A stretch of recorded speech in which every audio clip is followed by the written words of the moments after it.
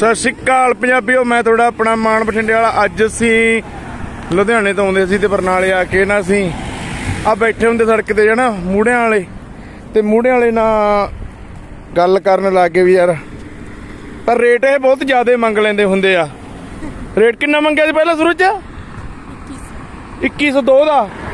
ਤੇ ਪਰ ਮੈਂ ਇਹ ਤੀਜੀ ਵਾਰੀ ਖਰੀਦ ਰਿਹਾ ਮੈਂ ਕੁਰਸੀਆਂ ਨਾਲੋਂ ਇਹੀ ਆਪਣੇ ਹੋ ਗਏ ਦ- ਦੋ ਤਿੰਨ ਤੇ ਤਿੰਨ ਸਾਲ ਕੱਟ ਜਾਂਦੇ ਆ, ਸੰਭਾਲ ਕੇ ਰੱਖੋ ਤਾਂ। ਤੇ ਮੇਰਾ ਉਹੀ ਰੇਟ ਬਸ 800 ਦੇ ਦੋ। ਹੁਣ ਅਸੀਂ ਇਹ ਮੰਨਦਾ ਨਹੀਂ ਸੀ ਟਾਈਮ ਸੀਗਾ ਜ ਮੱਥਾ ਜਿਹਾ ਮਾਰਨ ਦਾ। ਤੇ ਆਪਾਂ 1600 ਦੇ ਚਾਰ ਲੈ ਲਿਆ ਚਲੋ ਅਗਲੇ ਦੀ ਵੀ ਮਿਹਨਤ ਆ ਯਾਰ, ਜੇ ਆਪਾਂ ਜਮੀ ਕਹੀਏ ਵੀ ਕੰਨ ਨਹੀਂ ਆ 200 ਦੇ ਦੇ ਦੇ, ਉਹ ਵੀ ਮਾੜੀ ਗੱਲ ਹੈ ਹਨਾ? ਚੱਲ ਨਾ ਇਹਨੂੰ ਮਾੜਾ ਤੇ ਨਾ ਆਪਾਂ ਨੂੰ ਮਾੜਾ।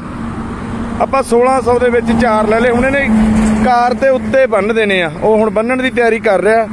ਤੇ ਕਾਰ ਦੇ ਉਹ ਆਪਣੀ ਕਾਰਗੜੇ ਦੇ ਉੱਤੇ ਨੇ ਬੰਨ ਨੇ। ਅੱਗੇ ਵੀ ਮੈਂ ਜਦੋਂ ਦੋ ਵਾਰੀ ਲੈ ਕੇ ਆਇਆ ਨਾ, ਉੱਤੇ ਬਣਾ ਕੇ ਲੈ ਕੇ ਆਇਆ।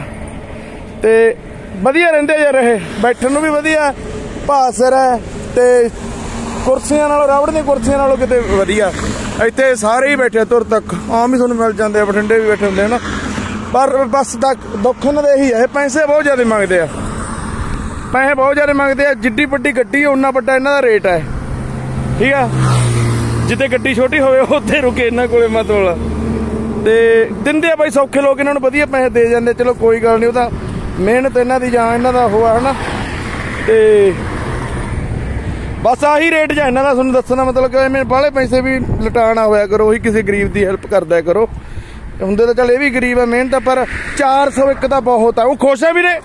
ਖੁਸ਼ ਹੈ ਰੇਟ ਇਹ, ਇਸ ਨਾਲ? अरे रेट तो मैं खुश तो ना है पर तुम्हें घाटे में दे रहा हूँ ਘੱਟ ਮੈਂ ਦੇ ਰਹਾ ਨਾ ਯਾਰ ਘੱਟ की ईमानदारी की रोजी मेरा हाथ में दो हजार ਖੁਸ਼ ਜੇ ਤੂੰ ਖੁਸ਼ ਆਂ ਤਾਂ ਦੇ ਦੇ ਜੇ ਤੇਰੇ ਨਾਲ ਧੱਕਾ ਹੁੰਦਾ ਨਾ ਦੇ ਕੋਈ ਗੱਲ ਨਹੀਂ वाली बात जो जवान से कहती है वो तो बात सही है ਬਾ ਠੀਕ ਆ ਫਿਰ और घ- ਦੇ ਦੇ ਜੇ ਖੁਸ਼ ਆਂ ਤਾਂ मैं घर को जा रहा हूँ ਬੰਨ ਦੇ ਫਿਰ ਉੱਪਰ लेके जा रहा हूँ ਬੰਨ- ਕਾਰ ਬੈਕ ਲੈ ਆਵਾਂ ਚਲ ਮੈਂ ਕਾਰ ਬੈਕ ਲੈ ਆਉਣਾ ਇੱਥੇ ਹਾਂ ਰੋਜ਼ ਦਾ ਕੰਮ ਇਹਨਾਂ ਦਾ ਇਹਨਾਂ ਨੂੰ ਹਿਸਾਬ ਹੁੰਦਾ ਤੇ ਕਾਰ ਦੇ ਨੇ ਉੱਤੇ ਬੰਨ ਦਿੱਤੇ ਆ ਠੀਕ ਆ, ਕਹਿੰਦਾ ਜਿੱਥੇ ਮਰਜ਼ੀ ਜਾਓ, ਐ ਨਹੀਂ ਕੋਈ ਪ੍ਰੋਬਲਮ ਆਊਗੀ। ਠੀਕ ਆ? ਤੇ ਇਹ ਸੌਦਾ ਕਰਿਆ ਜੀ। ਸੌਦਾ ਕਿਹਨੇ ਕਰਿਆ ਬੱਬੀ? ਪੱਠਲ ਨੇ। ਬੀਬੀ ਪੱਠਲ ਨੇ ਸੌਦਾ ਕਰਿਆ ਇਹ। ਪੱਠਲ ਖੁਸ਼ ਹੋ ਕੇ ਜ਼ਿਆਦਾ ਵੀ ਦੇਣ ਲੱਗੀ ਸੀ, ਫਿਰ ਰੋਕੀ।